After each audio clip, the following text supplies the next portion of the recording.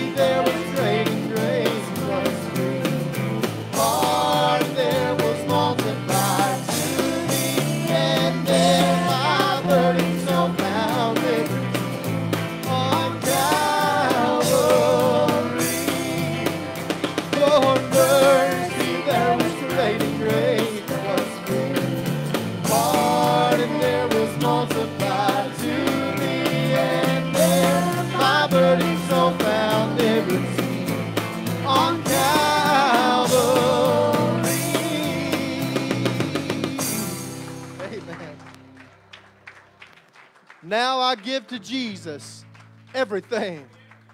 Now I gladly, I gladly own him as my king. My raptured soul can only sing of Calvary this morning. Amen. That's why I love this song. Such a testimony. And it's everybody's testimony if you go through those lyrics. Amen.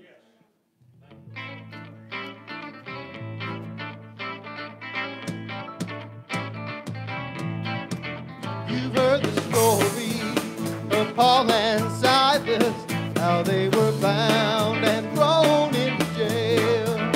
They didn't worry, they kept on praying, they were serving.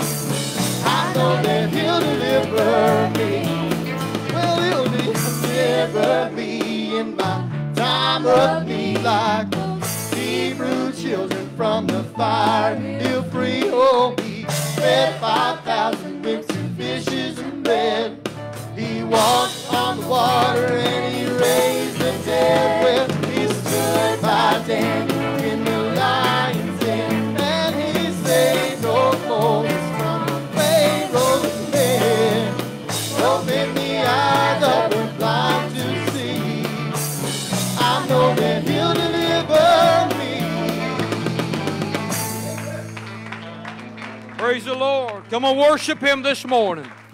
Yes. Ushers, would you come? We're going to receive the tithe and offering that supports the ministry of this church. And, uh, and again, we thank you so much for continuing to be uh, faithful in giving and obedient to the word of the Lord. Bow your heads and your hearts at this time. Heavenly Father, again, we're grateful for this opportunity to give back to you, Lord. We worship you in giving. And Lord, we realize that this morning we would have nothing if it wasn't for you, Lord. And we ask you to take this offering, Lord. Bless it. God, I ask you to bless the gift and giver. In Jesus' name, amen. Amen. Well, if you're in the battle for the Lord and right, on that fire and.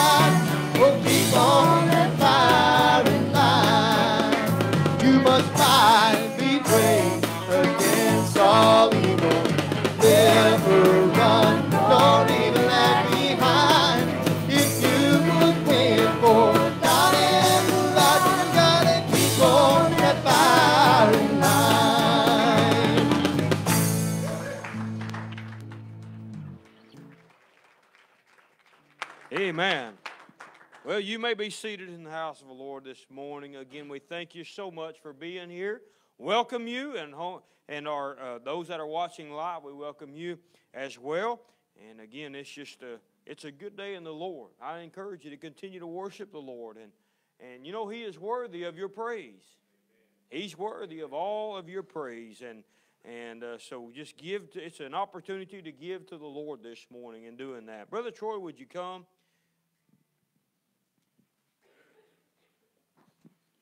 Amen.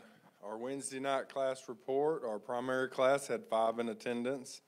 Um, and they're, they're doing a monthly, uh, subject and it's fill, fill our vessels. Children's church is nine in attendance and they fruit of the spirit. Teens had sixteen and adults had thirty-three and they was in our Romans class. Uh, it was a little short this, this past Wednesday. Everybody on vacation was five or six families short, but we had a total of sixty-three. Give the Lord a hand clap of praise. Amen. Yes. Everybody, everybody was out on spring break, but we're getting back in the swing of things now. So I want to encourage you this Wednesday night to, to come back. We're going to pick right back up in our Romans class. And uh, so continue to bring you something to write with, to take some notes, because it's, it's, it's food that you need. It's things that you need. And uh, to, to as we invest in your Christian walk to show you how to live for the Lord on a daily basis. So, uh, so Wednesday night, 7 o'clock, going to pick right back up with that. All right, April the 2nd, Children's Church uh, is having their connection night here at the church at, uh, at 3 to 5. So keep that in mind. Also, right around the corner, Brother Torrance Nash and Mario both will be here uh, for the weekend of April the 8th, 9th, and 10th. Now, that Friday night will be a youth rally. Brother Mario is going to preach that, uh, that youth rally. And so, uh, kids, invite all that you can. And again, I, I, I can't stress this enough. If anybody, any kid or any child that needs a ride, please let us know. We will make it happen to get them here. And uh, we have a bus, and uh, we will we will run the wheels off of it if we need to. But we will get uh, we need to get kids here if they can at all. And uh, but it's not just for the kids, adults. You'll be blessed also as well. You don't want to miss these services this weekend or that weekend of the April 9th, 10th, uh, 8th, 9th, and 10th. And of course, Torrance will be uh, preaching uh, Saturday night, and then of course uh, both services on Sunday. So be praying about that revival. Uh, I don't really got to tell you what you're getting. You already know you're going to be getting the word, and you're going to be blessed indeed. So uh, keep that in mind and be praying for that weekend as well. I want to say we had a wonderful time yesterday at the horse show. I mean, we had a great turnout. Everything just went well. Uh, a big thanks to Jamie and Kaylee Hill for, for all the effort, the work. Yes, yes.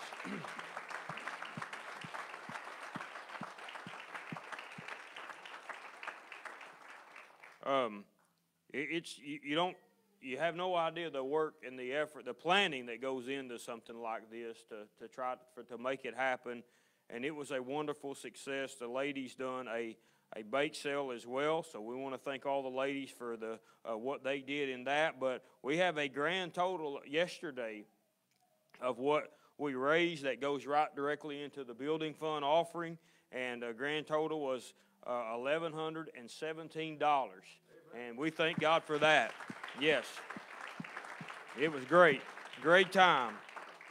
The kids had a good time. We found out who rides double and who don't. And uh, but we they had a great great time and it just went good. And I want to thank everybody that had a hand in helping out yesterday.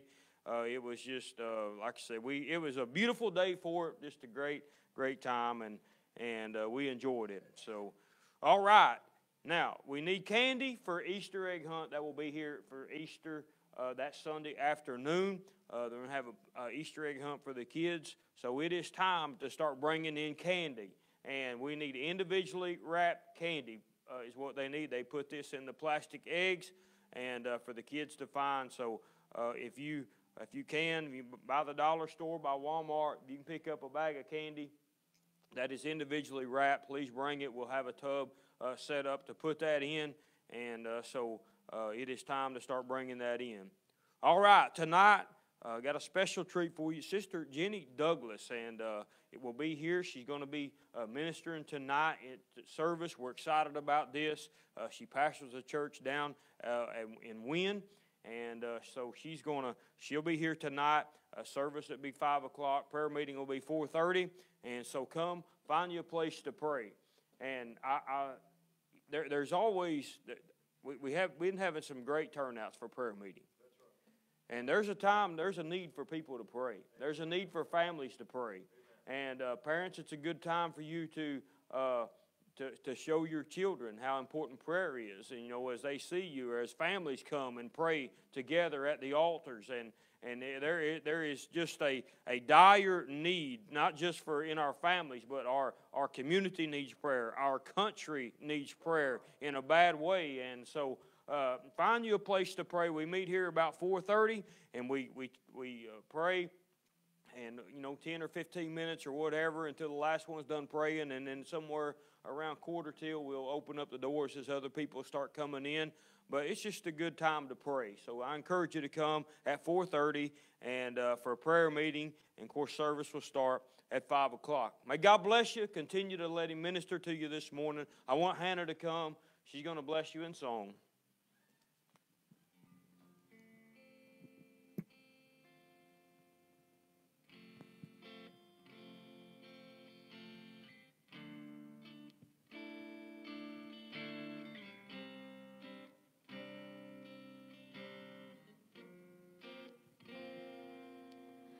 Are you past the point of weary? Is your burden weighing heavy? Is it all too much to carry? Let me tell you about my Jesus. Do you feel that empty feeling? Cause shame's done all it's stealing, and you're desperate for some healing. Let me tell you about my Jesus. Cause he makes a way when there ain't no way. He rises up from an empty grave. Ain't no sinner that he can't save. Let me tell you about my Jesus. His love is strong and His grace is free. And the good news is, I know that He can do for you what He's done for me. Let me tell you about my Jesus.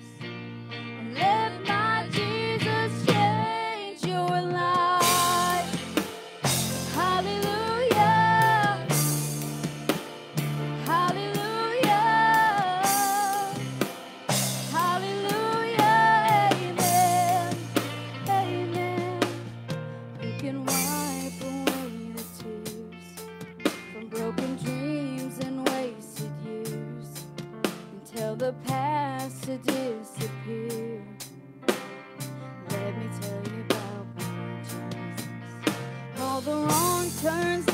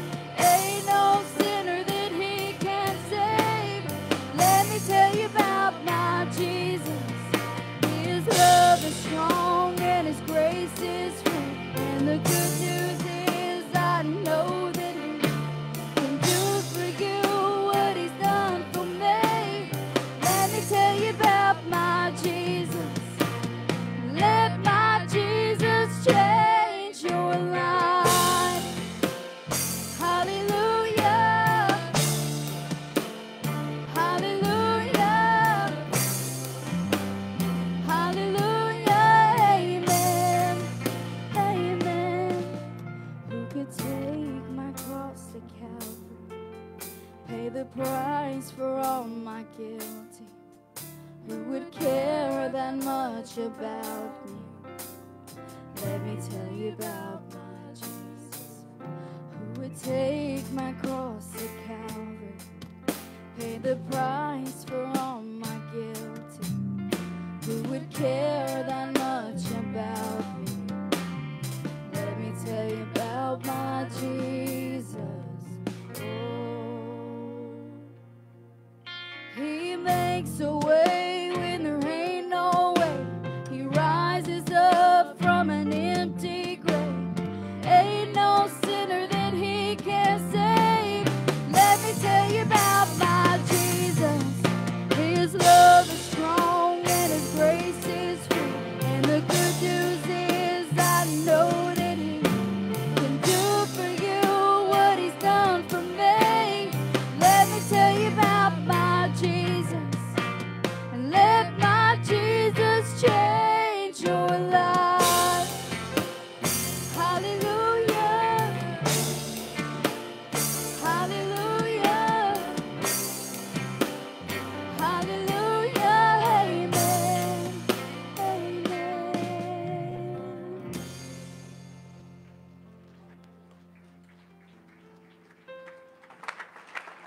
Praise the Lord.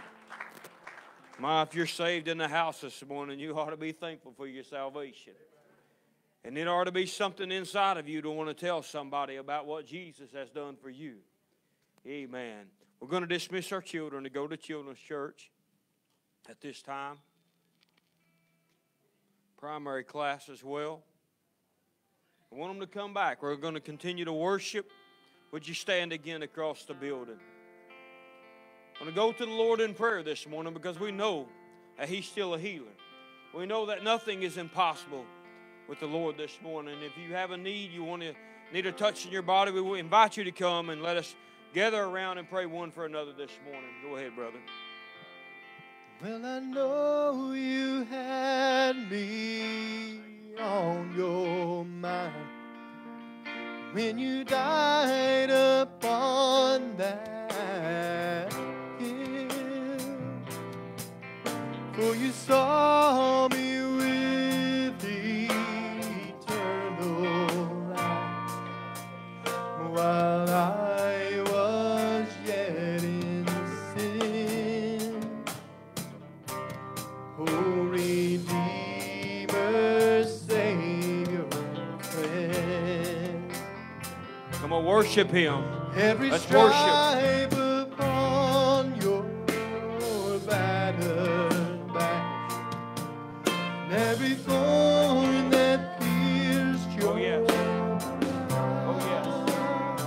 You, Lord. Church family, would you come? Come and help us this morning. Your guiltless. You said your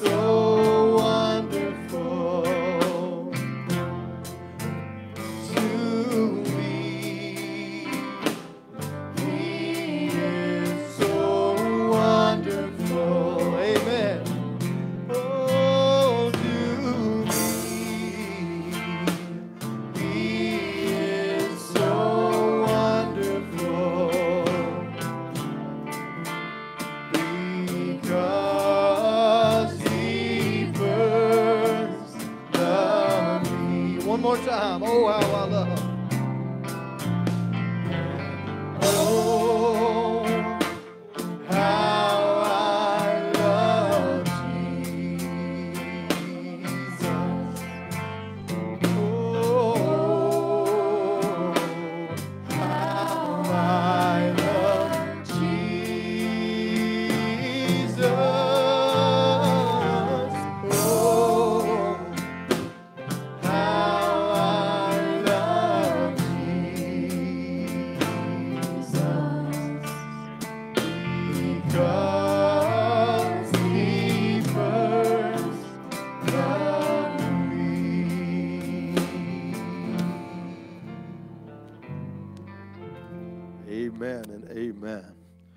You love Jesus this morning?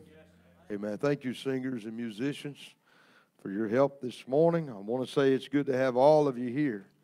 And we appreciate you coming out. We still got a few that's out, but most of everybody is back. And it's good to see you this morning. And we're glad that you came to the house of the Lord uh, today. If you want to grab your Bibles, I'll save you an up and down. We're going to be going to the book of Exodus. Exodus chapter number 23 and uh, looking at verses 20 through 30. Exodus chapter number 23, looking at verses 20 through 30. We're also, I didn't give it to you, but I just decided to, to look at one scripture in Joshua, Joshua uh, 1 and 3 also. But Exodus is where we will start. While, they, while everybody is turning there in Exodus and getting situated there, I want to uh, just quickly announce that on Thursday nights we are uh, we started a new. Is it gonna? We started a new uh, panel on Thursday nights, and uh, the panel on Thursday nights is just simply uh, explaining the message of the cross and defining the message of the cross. While we're defining the message of the cross, we're uh, having some trouble here. Give me some monitor. Trying to work through it. All right. While we're explaining the message of the cross, we, we had a lot of we had a lot of uh, good comments last Thursday night. It's something that we continue. Brother Lane joined us also. Something that we're going to continue, and it's something that we may ask some of you to at, at different times to join us to kind of testify. You know, I I am as a as a church, as a believer, I understand and I realize that I, I am better than nobody. I'm not better than anybody. But there's a message that's changed my life. and that is the message of the cross. And the message of the cross is something that is not explained everywhere in every church. And so uh, on these Thursday nights, we're going to take some time and define it and kind of comb through it. Thank you to all that listened. Thank you to all that shared. And uh, we just appreciate it very much. And it's something that we plan on continuing on. So if you could share it, it would, it would just help get the word out uh, to somebody that hear it. That's how I heard it at first, and uh, that's why that it was delivered at Faith Worship Center. So you never know what you're going to do by sharing uh, the message of the cross, and so that's a great opportunity to do so. Let's get started. Exodus chapter number 23. We start in verse 20. This is familiar to, to most of you, and I hope familiar to all of you before we're done today. Exodus chapter number 23, verse number 20. Behold, I send an angel before you to keep you in the way and to bring you into the place where I have prepared. Beware of him, and obey his voice. Provoke him not, for he will not pardon your transgressions, for my name is in him. But if you shall indeed obey his voice and do all that I speak, then I will be an enemy unto your enemies and an adversary unto your adversaries. For my angel shall go before you and bring you in, in unto the Amorites and the Hittites and the Perizzite and the Canaanite and the Hivites and the Jebusites, and I will cut them off. You shall not bow down to their gods, nor serve them, nor do, in, do after their works, but you shall utterly overthrow them and quite break down their images. You shall serve the Lord your God, and he shall bless your bread and your water, and I will take sickness away from the midst of you. There shall nothing, there shall nothing cast their young, nor be barren in your land. The number of your days I will fulfill.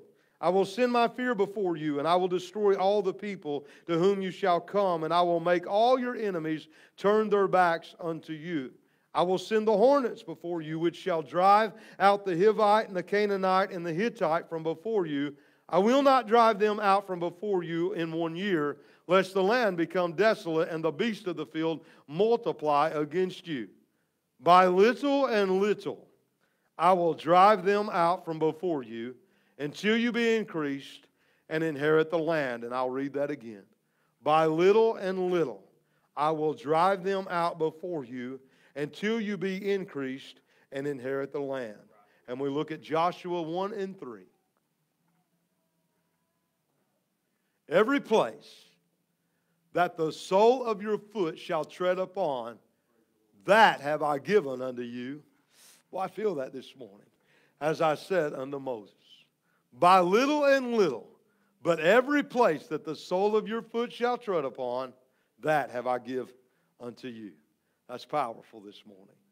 I want to minister. I'm going to try to slow down and teach just a little, but I want to minister the thought by little and little. Will you bow your head and will you help me pray this morning? Father, I love you today.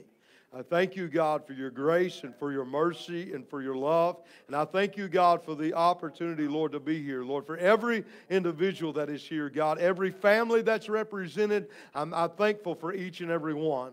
God, I'm asking you to open our ears to hear, our hearts to receive, and anoint my lips, God, to deliver your already anointed word. Lord, I pray that you would do a work that I cannot do, and I'll be very careful to give you the praise, the glory, and the honor in the name of Jesus Christ. And everybody says, Amen. Once again, because of the direction that we're headed today, uh, I feel it needful to back up just a moment and to, uh, to just recap just a little bit. Last Sunday morning was a great service for uh, the believer, for the church. There you found it. Turn it down just a little bit. For the believer and for the church. And because it was a great Sunday morning, because there was so many that raised their hand to accept Jesus Christ. Amen? Anytime that we can have somebody born again, every anytime that somebody that was once headed directly to a devil's hell that changes their mind and accept Jesus for their Savior, and we have something to rejoice about. Amen? Amen. Amen. And I'm thankful for that. And I, I, I want to recap just briefly because I can't rightfully enter into where I want to be unless I recap just a little bit. I came to you from Romans chapter number 5 and verse number 1. And, and again, even though I'm recapping, the question is still good.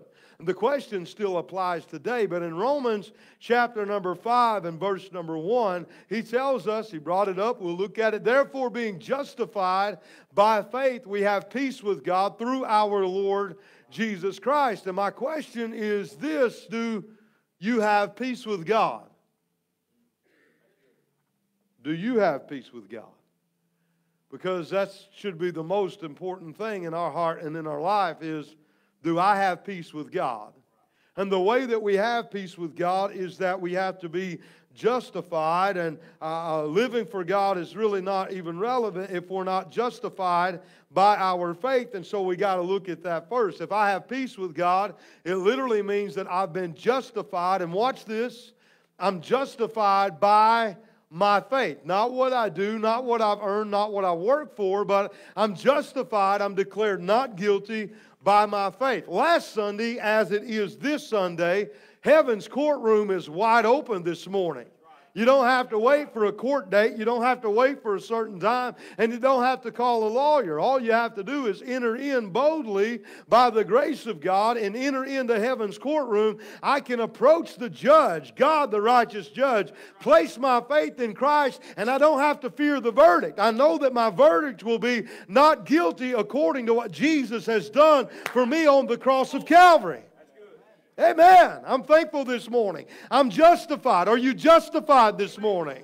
I've been declared not guilty. My name is in the Lamb's book of life. I haven't seen it, but I believe somewhere up there is a robe that's made just specifically for me, a crown that will fit my head and nobody else's. I, I believe it this morning that I have the gift of eternal life and I will live, I will abide with Jesus Christ forever and forever because I'm not guilty this morning. Praise the Lord. I'm thankful for that. So when we look at that, I left you with that. I want to add on to that from here is that justification is not only, watch this, it's not only the verdict or the declaration off of my life, but now it's become my position. Are you with me? It's my position. I stand before God this morning being justified. I don't stand being perfect. Don't get them confused. I am seen as perfect or I am seen as sanctified in the eyes of God, but sanctification is both instant and progressive. Instantly, God sees me as, as, as uh, let me say, He sees me as clean. He sees me without sin, but I'm still in the flesh, so I have a progressive work of being sanctified or being changed. Let me tell you something this morning. The evidence that we have been justified and placed in this position is that we are being changed. Jesus didn't come in and leave you like he found you. So we're being changed. So, just for illustration, I was here in the muck and the mire of, of, sin, and when I was justified, He raised me up and He brought me to a position now seated in heavenly places. I am 147 times. Your New Testament says we're in Christ. I am inside of Jesus Christ. This is my position. I'm not perfect, I've not arrived but I'm justified. And look, I don't mean this in the wrong way, but I don't know how else to say it. I said it Thursday night. I don't know how else to say it. But now that I'm justified, I wish somebody would have told me this uh, when I was growing up. Now that I'm justified, the fear of if I'm saved, the fear of am I going to hell, the fear of all of this because I fell. Listen, I'm justified. My position, even though I'm going to fail, Here's religion. I feel religion. Even though I'm going to fail, even though I'm not perfect, as long as I keep my faith in Christ and what He did on the cross of Calvary, this position don't change. did you get saved by what you do? Then how do we lose it by what we do?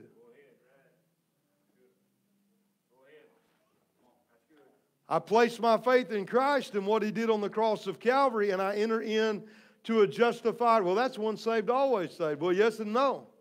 Once you're saved, you're always saved as long as you keep your faith in Christ and what He did on the cross of Calvary.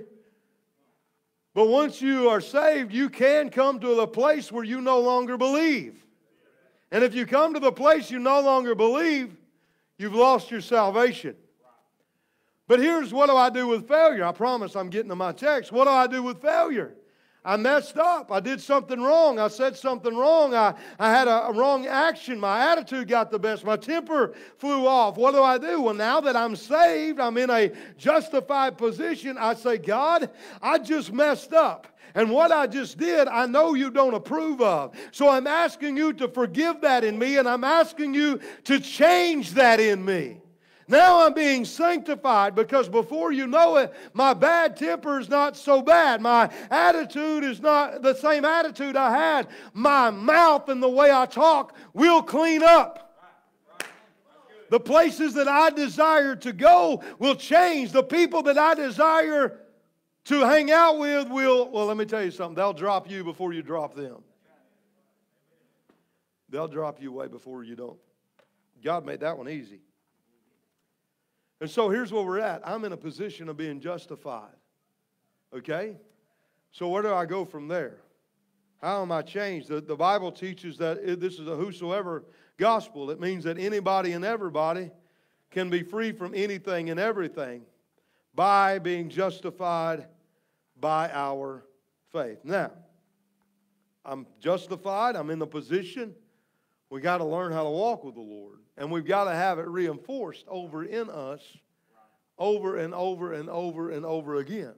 Because growing up, I said it Thursday night, I guess I'm repeating some of that. I didn't know how to live for God. I was just trying to live on credit from Sunday to Sunday, just try to make it to the next Sunday so that I could repent again. Because I messed up. Well, you can't go a whole week without doing something wrong. No, and you can't either. Do you realize one wrong, one wrong thought? One wrong thought? Come on. One wrong thought is evidence that there's something in your heart that is not yet lined up with what God requires. And if that wrong thought comes, well, nobody knew about it. Well, here's something you may not know God knew about it. Yeah, he did. It wasn't, eh, there's no surprise with God. It didn't surprise him. It, it, it, God knew about it. He's fully aware of it. He knows what kind of mess I better preach to me that I am more than I know myself. And so God knew about it. So what do I do with this? Monday through Saturday, I was just trying to make it till Sunday, hoping that the Lord didn't come back because I knew I, I believed I was dying and going to hell. So I was praying the Lord didn't come back so I could get somewhere and say, My God, forgive me for what I've done. Forgiveness, look, if you're going to be a good Christian, you better learn how to repent. And you don't have to wait till Sunday to do that. Because the correct action of a believer is the moment that I mess up. See, a non believer doesn't care, they just keep going. I got a message this week and said uh, the question was this I, I, still have such a pool of sin and I feel dirty and rotten all over. Am I born again or am I not born again? That was the question that I got as a private message. And I said, Let me ask you a question. Did you feel bad before you come to Jesus? Uh, all of these pools of sin that you had? They said, Oh, absolutely not. I enjoyed it. I said, You know why you feel bad now? Because you saved. The convicting power of the Holy Spirit is there telling you that's wrong and that you need to surrender it to the Lord. And the believer does not ignore that. The believer says, My God, I am a mess. I am a wreck. I'm asking you to forgive me and change this in me. And the Holy Spirit continues to work on us and continues to change us. And this doesn't ever quit. I don't care if you pastored a church for 75 years, this doesn't ever quit. As long as we're in the flesh, we will always be in a position that we need to depend upon the Lord. Everybody with me? Pretty foundation, foundational teaching. I know religion would cast that out. a pastor friend of mine, an evangelist, he said, Man, I was preaching that same thing one time at a church, and a, and a lady in the back, she, she very loudly, when it got quiet, she spoke up and said, Speak for yourself. Listen, I mean no disrespect, but I am speaking for myself. And I'm speaking for all of mankind. Unless you're deity, unless you're God, we're always going to be in a place where we depend upon the Lord. We're not per- perfect. Sinless perfection is not in the Bible. So we're dependent upon God. So, what do I do? How do I live for God? How are things changed in me? I'm giving you the how. And I want to tell you this, and we mentioned it again. I've, I've referred several times to Thursday night. I guess I enjoyed it more than anybody. But I, I want to tell you this we do not have the things in our heart that needs to be changed by what we do. The things in our heart are changed by what we believe. Even if it's biblical things. Now, listen, and don't throw stones at me, but reading our Bible and praying and fasting doesn't change things in our heart, but what it does is build our faith in Jesus Christ, who is able to change us.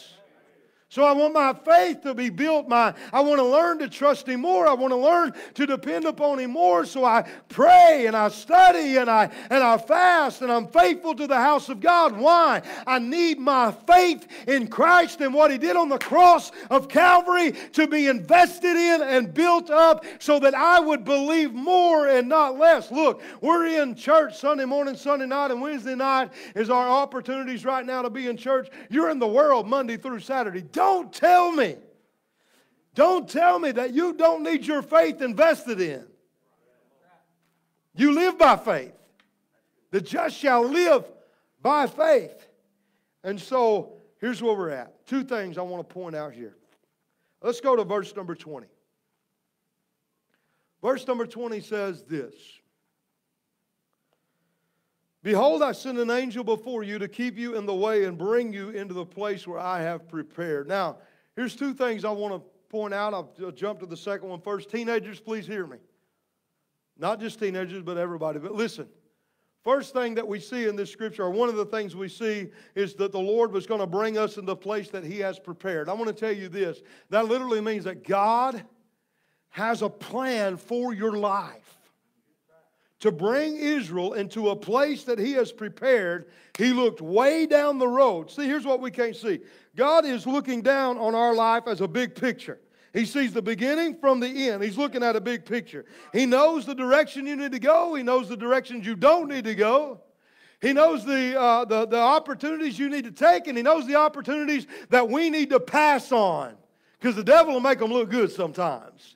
And as he's looking at our life as a big picture, as he said here, a place that I have prepared for you. Listen, teenager, God has prepared a plan just for your life. If you will follow that plan, you'll be happy. You'll look back and say, Thank God I followed his plan. If you don't follow that plan and you follow your plan, you're going to find a life that is full of trouble. Next thing I want to point out here is also not only God has a plan, but He has a God for His plan. He has somebody to guide us into His plan, the voice of the Holy Spirit. It's common today. Sometimes we say it not thinking about it. But much of the church will say, Well, I know it was the Lord because He opened the door. I know it was God because this happened. That's not new covenant. Devil can open a door too. Well, I know it's God because everything fell in place. You don't think the devil can do that? We know it was the Lord because He's got a guide. The new covenant way is the voice of the Holy Spirit saying, I want to talk to you. You know why many believers don't want to go that route?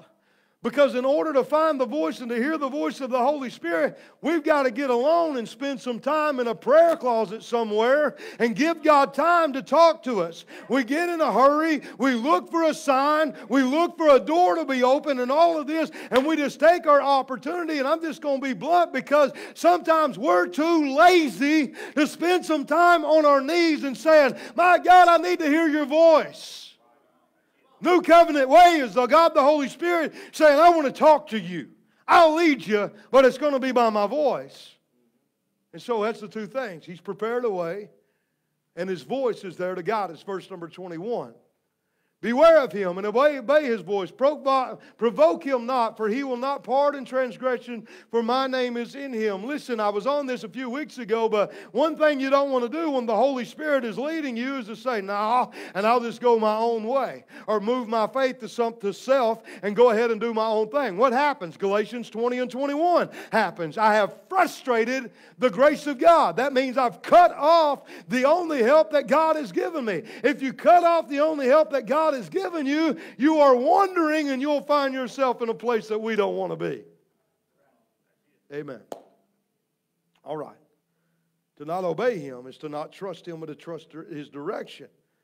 It's like, again, the big picture, looking down on the corn maze, looking down on the maze and which way to turn. He's looking down. He'll tell you go left, go right. He'll tell you which way to go. We've just got to follow him. And if we don't obey him, we'll be in a mess. Verse 22. But if thou shalt indeed obey his voice and do all that I speak, then I will be an enemy unto thy enemies and an adversary unto thy adversaries. Powerful, powerful promise. I have the Lord that will raise up a standard against my enemies. He will become an enemy to my enemies, an adversary to my adversaries, and anything at all. Listen, I mean that. Anything at all that tries to destroy you. Anybody ever been through a trial in here this morning? Anybody ever had your family attacked and everything else attacked and almost destroy you? I found my life broken in many different pieces. Listen, the Lord is saying anything that comes against you, I'm going to jump on your side and I'm going to be against whatever whatever it is that is against you. I'm going to be an enemy to your enemies, an adversary to your adversaries. And let me tell you something this morning. With the Lord that is by your side, you are always a majority, and you always find yourself in the middle of a battle. Listen, I know it's big, but I'm going to say it because I believe it. You're smack dab in the middle of a battle that you cannot lose as long as you keep your faith in Christ. You can't lose if your faith is in Christ. If you lose, that means God lost, and He never lost a battle yet. Verse number 23. I'll spend a couple of minutes here. Watch this. For mine angels shall go before thee and bring thee in unto the Amorite, the Hittite, the Perizzite, the Canaanite, the Hivite, and the Jebusite, and I will cut them off. I like that, that word literally means cut them off. God's saying, I'm going to literally divorce them. I'm going to literally divorce them. In other words, I'm going to help them none. It's going to be as if they were never even in Canaan. I'm going to cut them off. Now, I want you to think about something. I want to slow down. I know we're a little quiet, but I want, I want to slow down. I want you to think about this. Because this morning, I mean, the Lord put this in my spirit. I got to believe that it's for somebody. We've been through a trial and we've been through tribulation, we have found ourselves in different storms and different trials different, different ones. I mean, my last trial not like this trial, and my next trial not like that other trial. And sometimes we're like, okay, God, you, you, if you try me in this area, okay, but I don't want you trying this area. All right? Seems like every area of our life is different. I want you to think about this. I always just kind of read through this, but got to doing a little bit of study and research, and I found some things that were helpful to me. The Amorite, the Lord said, first of all, I'm going to destroy the Amorite. What does that mean, destroy the Amorite? Well, yeah, they were a people, but here's something you need to know about the Amorite. The Amorites didn't really have a specific dwelling place. They were kind of like a chameleon. They could be anywhere and any time. They could just pop up without any warning. They could just show up, and the Amorites continued. Amorites would be strong, and then later on, down years down the road, the Amorites would come against Israel again, and later on down the road, they'd come against Israel again. It was just that, you know, Paul would say, the thorn in my flesh. Every time I turn around, I got an Amorite that is popping up. I want you to know that the Amorite here, they just never seem to quit. They never seem to quit. I told you earlier that as long as we're in the flesh, we will always be at a place that we're dependent upon the grace of God and upon the help of the Lord. The Amorite was a type of that trial. It just never seemed to fully go away. It was just kind of always there, and it's not something specific. It's just, let me just say it like this. Basically, as long as we are a believer, we will always have a specific or a, a certain type of trial that keeps us pushed and trusted trusting to the Lord. I've used this example, but if the big mean dog come in my yard when I was a, just a child playing in the yard and my dad is sitting on the front porch and that big mean dog come at me growling and snarling going to attack me, I'm running to my dad. Because I know once I get to my dad, everything is going to be all right. The Amorite was the type of the big mean dog that's just trying to push you to Jesus Christ. Come on. God knows what will make you pray. And so the Amorite was there. It was type of that trial. Here's the good thing about that. Even though the Amorites continued to pop up and to show their ugly head and to attack, every single time that Israel kept their faith in God, they found that they had victory over the Amorite. And it's the same for me and you today. Even though a trial will keep coming, as long as you keep your faith in Christ, God will never quit. If you won't quit, God won't quit. Victory will keep coming. Now, watch this. The Hittite. The Hittite, mature believer will understand this. They literally dwelled in what they called urban enclaves. In other words, the Hittite was deep inside of another tribe. Are you with me? I know we're quiet, but I'm still going to stay slow and teach. They were deep inside another tribe. All of a sudden, I don't mean this disrespectful. Um, I'm just gonna I'm just gonna say. Let's see. I'm trying to be careful. If you had a house full of dogs, and I hope you don't, but if you did, and you were going through there and you've seen all these dogs, and all of a sudden, sitting up on the shelf, there's a cat. I wouldn't expect that, especially because I know my dogs, and dogs, my dogs don't like cats. I wouldn't expect that. Uh, no, I just, it would catch me off guard. The Urbans was the same kind. If I had a box full of Reese's that I just bought from the store and I'm reaching through there eating Reese's, because I believe that recipe come from heaven. You had to be inspired by the Holy Spirit. They're just too good. And all of a sudden, I'm reaching through there, and all of a sudden, I pull out a Snickers. I'm not expecting that. Well, the Hivites was like that. If you came into an area and you knew or thought you knew what to expect, all of a sudden there's a Hivite that's dwelling in here. I didn't even know he was about the place. Me and Brother West was talking one day through the process of sanctification. If a person is walking in the Spirit, let me tell you what's going to happen. All of a sudden, there's going to be something that surfaces in your heart that you never knew was there. And it caught you off guard. You're thinking, where in the world did that come right come from? That's a Hivite. The Hivite was there and they just stayed secluded. They just kind of mixed in. They never showed their head until they were truly disturbed. And let me tell you something the Lord wants to disturb every part of your heart because the more of self that He can clean out is the more of the Holy Spirit that He can pour in, and we're being transformed into the image of Jesus Christ. So we have the Amorite that keeps showing up, and we have the Hivite. I didn't even know he was there. And then we have the parasite. I like to say parasite, but Perizzite. The parasite lived in the open country. When they got over in the promised land, he said, Here you go. Here's the open country. The open country was good for grazing livestock animals and everything. But the parasite consumed that. They, they grazed their livestock, they had the good grass, they had all of this. So now he's saying, even in the open land, you're going to need that to graze your livestock. The parasite is there, and I'm going to clean all of the parasite out. Then he says this the Canaanite. The Canaanite liked the Jordan, they liked the Jordan Valley. The Jordan Valley there was, uh, the, there was a type of the good, the rich soil where they could grow good crops. But the Canaanite was there. And the Lord said, I'm going to give you the Canaanites' land also that you so that you can grow your crops. Watch this. Then there was the Hivite, the, I said Hittite, it was Hittite before, the Hivite. The Hivite liked the hills and the mountains. They dwell high on the hills and mountains. Everybody's thinking, what's this got to do with anything? I promise I'll bring it together. They dwelled in the hills and the mountains, and they needed that area too. So the Lord said, I'm going to give that to you. And the Jebusite, dwelled in the land where they had the, air, the chariots of iron, and they said, uh, in fact, Israel just camped around them. We don't want to disturb them. They were a type of the stronghold, and they was not conquered until David come along and said, Why are you tiptoeing around the stronghold? God said we could have that land. I don't care if they got chariots of iron. We're going to conquer them too.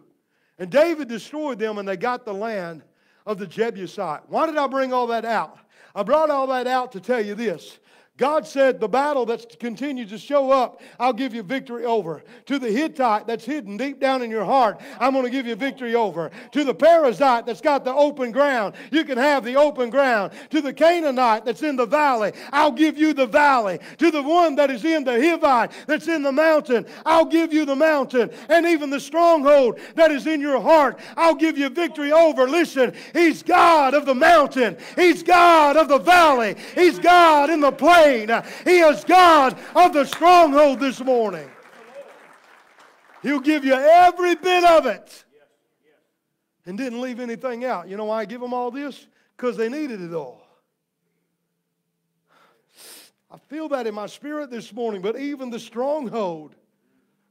And I'm going to say we because I'm trying to learn to use pronouns that includes me and not just preach to people, but make sure I include myself as the writer of Hebrew does. Listen, those strongholds in our heart that we keep, t- we keep on tiptoeing around because, well, nobody really knows about them anyway.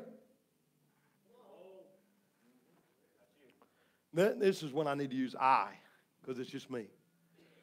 That stronghold that I keep tiptoeing around because nobody really knows about, sooner or later, I'm going to have to put my trust in my heavenly King David and say, God, I've tiptoed around that chariot of iron long enough. You said I could have that area and that territory also. So I place my faith in you and I'm going to trust you to break that stronghold. Listen, we serve God that's able to break every addiction and every bondage. He's greater than crystal methamphetamine. He's greater than Jack Daniels. Uh, he's greater than nicotine. He's greater than lust. Uh, he's greater than the bondage of homosexuality. He is greater than a gossiping tongue, uh, a fornicator, or the desire to adulterer. I want you to know God is God that is able to break all of it.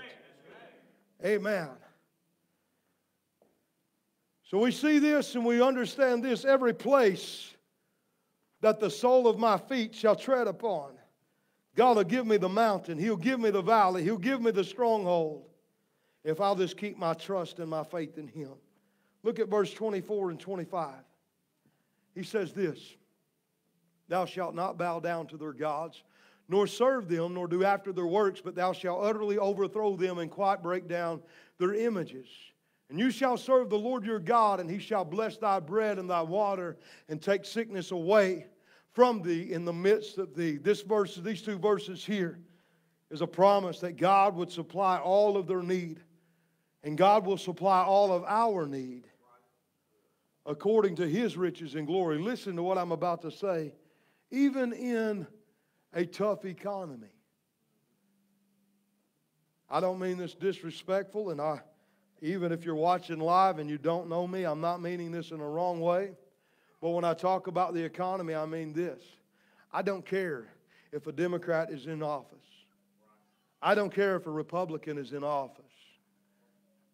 When I'm living under God's economy, I'm going to believe and trust God. Yeah, I may have to sacrifice. I may have to do without. But I'm not going to do without the things that I, that I need because God will supply each and every one of them. The believer will not be without the things that they need. Verse number 26. There shall nothing cast their young nor be barren in your land. The number of your days I will fulfill. How many has ever received a promise from God? How many has ever God promised you something in your heart and it's still there? Not seen it fulfilled yet. I want you to look at this verse.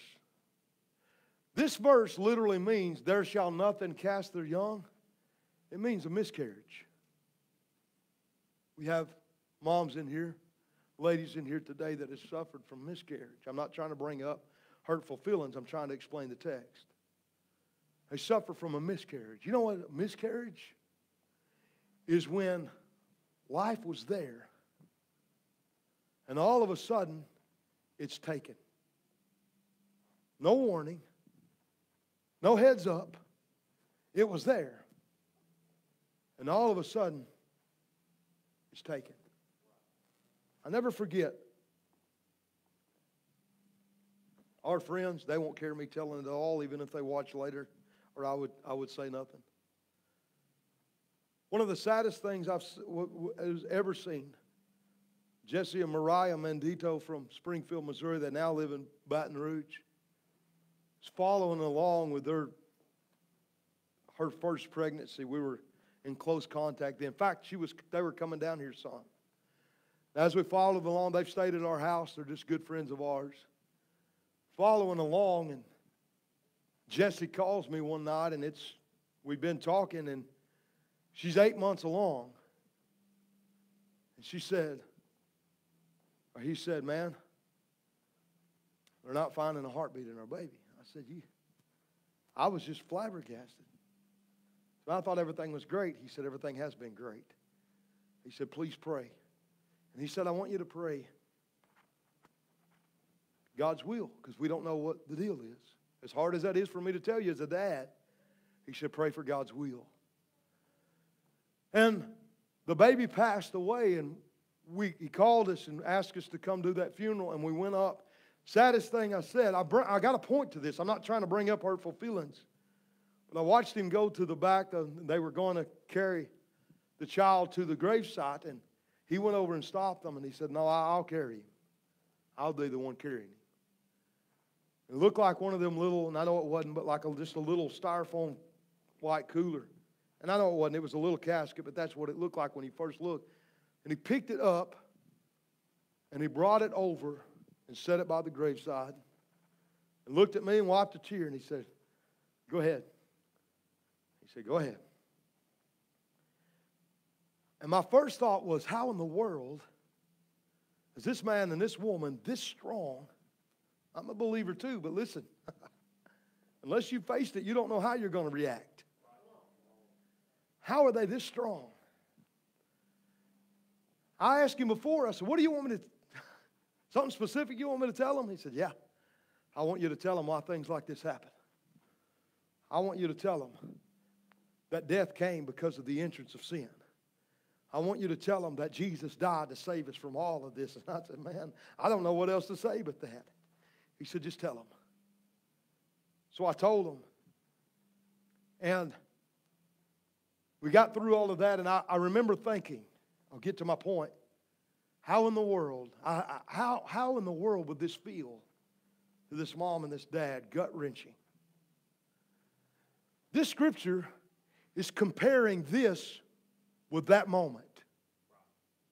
For the Lord to give you a promise that you know, listen, a lot of people claiming promises and they're not of God, but a promise that you know is of the Lord, and all of a sudden, the enemy has just ripped that promise away from you.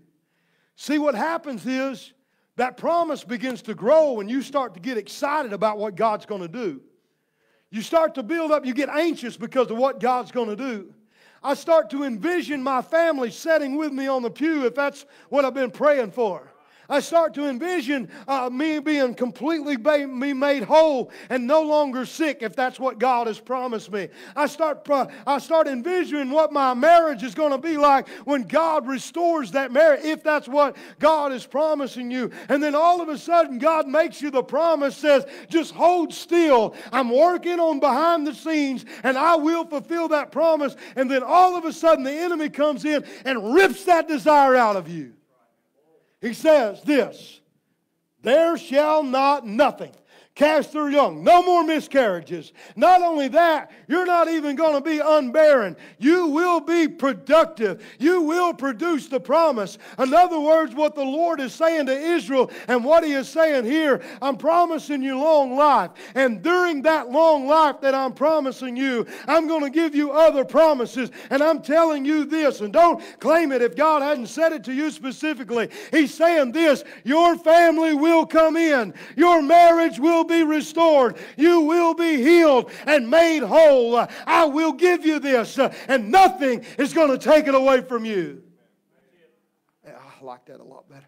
Nothing's going to take it away because God has given that promise. Then he goes on, he says this, verse number 27. I will send my fear before you, will destroy all the people to whom you shall come. I will make all of your enemies turn their backs unto you. And verse number 27, watch this. It's the Lord that will destroy and drive out. If I just believe and continue to believe, even though I may face them, He will destroy each and every one of them. Israel was not warriors, they were not fighters, but the Lord fought each and every one of them. I think about the song, I'm going to mess it all up because I just cannot, for some reason, remember words of the song. And Sister Sherry will always be known as singing of Little David. I know Hannah's been singing it. And David said, The battle's not mine. Said little David, Lord, it's thine. I bid your favor. I've given it all to you because I know not what to do. Help me. You don't know. Huh? I can't hear her. So uh, let me just sum it up by saying this. David gave the battle to the Lord, and the Lord was able to make a way. He said, You're really all that I need. The battle's not mine. He gave it to the Lord. Verse number 28. He says this I'm trying to hurry. I don't want to bore you. And I will send hornets before you, which shall drive out the Hivite, the Canaanite, and the Hittite from before you. Hornets before you. I don't know about you, but that do it for me. I hate anything that flies and goes. It'll drive me plumb out, I promise you. Anything that God needs is at his disposal.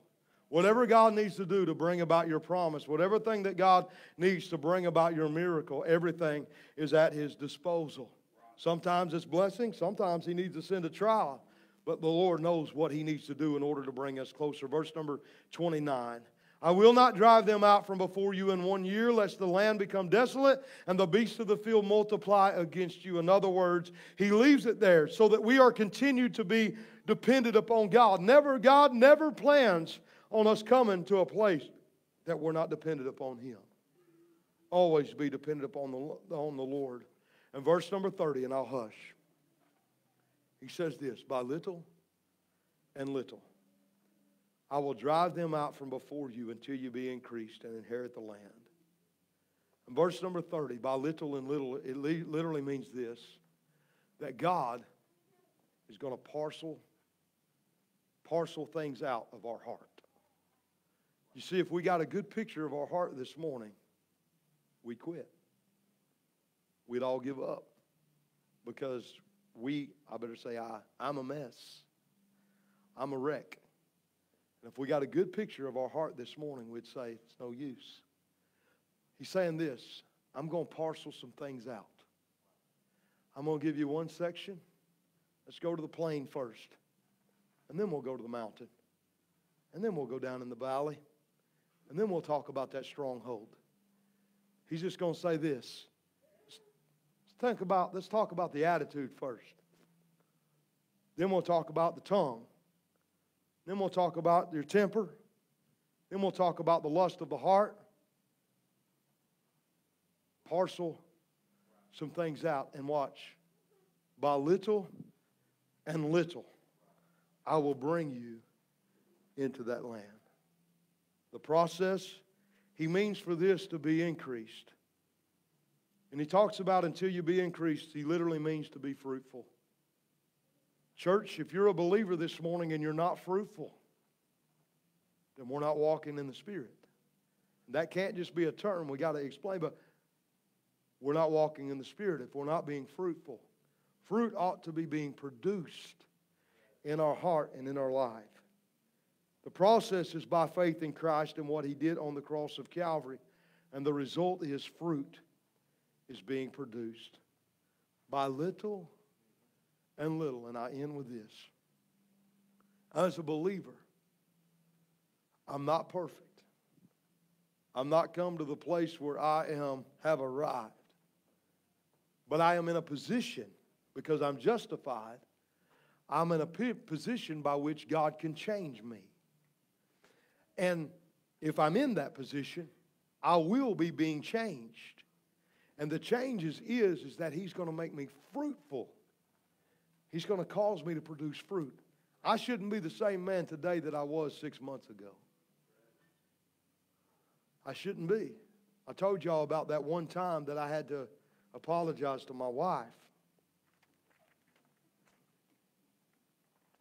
Yes, one time. That's all I told you about. These things,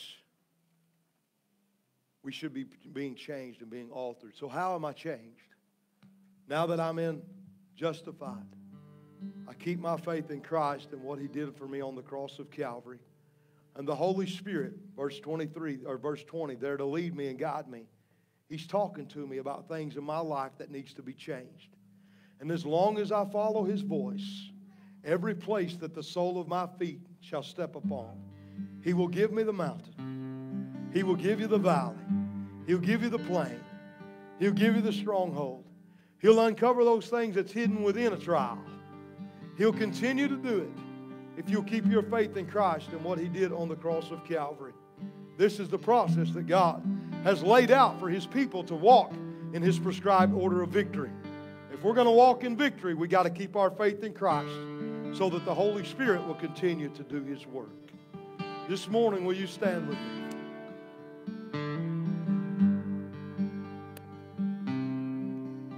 To ask you to bow your head with me, please, across the building. Father, we love you this morning. I'm thankful, God, for your word. I'm thankful, Lord. God, that you did not leave us in a place of bondage, but you said, Lord, that you would bring us out in every place that the sole of our feet would tread upon. God, that you would give that to us as part of our inheritance. Lord, I pray this morning in the name of Jesus that you would move upon somebody's heart. Somebody's heart, God, that may just be standing, Lord, may just be frustrated I'm asking you to remind, Lord, that every single promise that you have put there, Lord, that you can't make come to pass. That there will be no miscarriage with your promise. That there will be no putting away of your promise. But that it would be fulfilled, God, and that we would see it, Lord, to uh, God, to make it fruitful. I'm asking in the name of Jesus that you would move, Lord, upon the heart, the life of your people, Lord, and we give you the praise and the glory for it in the name of Jesus. Amen and amen. Here's my altar call this morning. It's very simple. Maybe you're here this morning. I've said a mouthful. Something of your something the Lord has pricked your heart about or dealt with you about. Maybe it's God, help me face this stronghold. Give me victory over the stronghold. Maybe it's something else. Maybe it's a, a promise that's been deep down in your heart that you've allowed to be buried. I don't know what it is, but I just want to give us a moment this, this morning to come around the altar and, to, and just talk to the Lord. It's a good time to pray. It's a good time to say, God, help me with my walk. Help me to be changed and help me to be fruitful that I would be a light for you. Would you come this morning?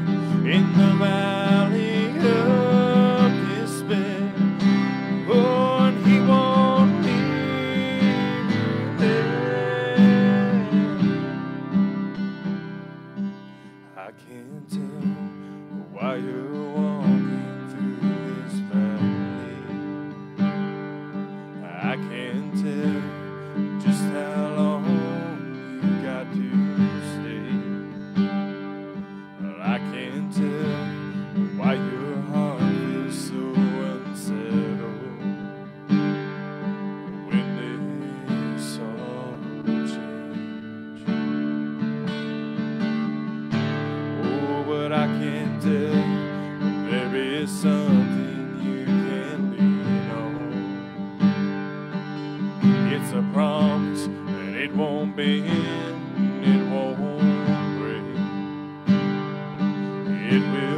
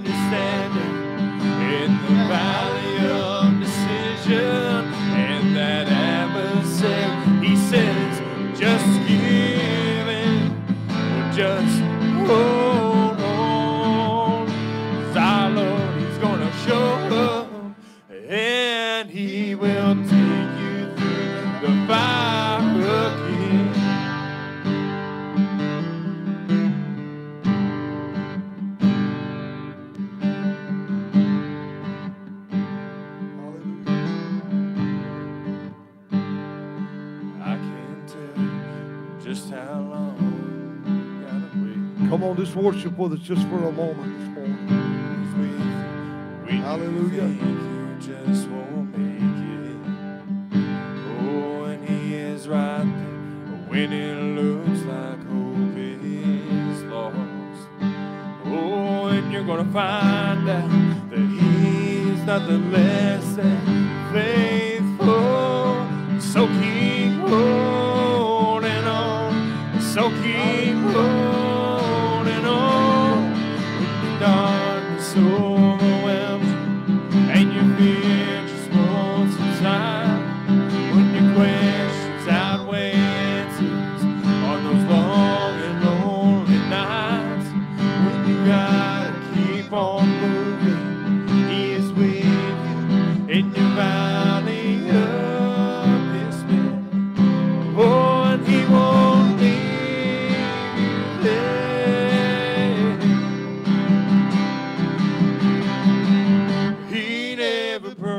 on, sing it if you know it this morning. Hallelujah. It Hard to climb. Hey, he'll give you that mountain. He'll give you that valley. Hallelujah. Victories without fighting, but he said, "Help." Help would always come in time. Oh, just remember when you're standing Hallelujah.